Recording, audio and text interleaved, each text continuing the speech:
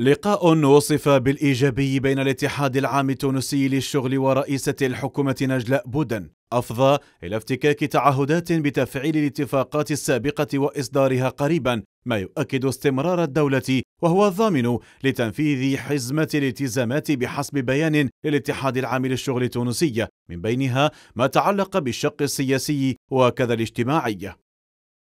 المطالب التي طرحت على طاولة النقاش بين الطرفين تلخصت في توضيح الرؤية السياسية وضبط مسار تصحيح حقيقي الإسراع بإنهاء الغموض ووضع خارطة طريق تنهي المرحلة الاستثنائية. الرفض المطلق للتدخل الأجنبي في الشأن الداخلي التونسي وجوب النأي بالإدارة التونسية عن التجاذبات السياسية والتوظيفات الحزبية ومحاولات إخضاعها للولاء للسلطة التنفيذية. التأكيد على ضرورة احترام استقلالية القضاء.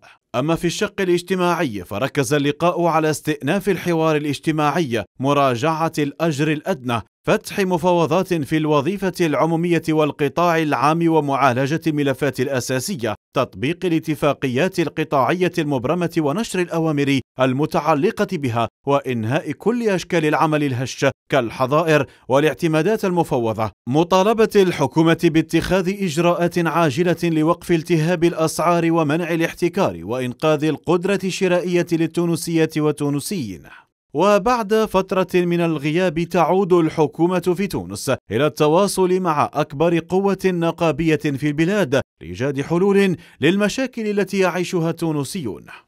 يأتي هذا كرد فعل إزاء التحركات الشعبية الأخيرة في عدة مناطق رافضة للوضع العام ما يستدعي بحسب مراقبين الإسراع في ضبط عقارب الساعة في البلاد على توقيت تنفيذ الالتزامات لبسط الهدوء والسكينة واسترجاع الثقة بين التونسيين والسلطة الحاكمة في البلاد.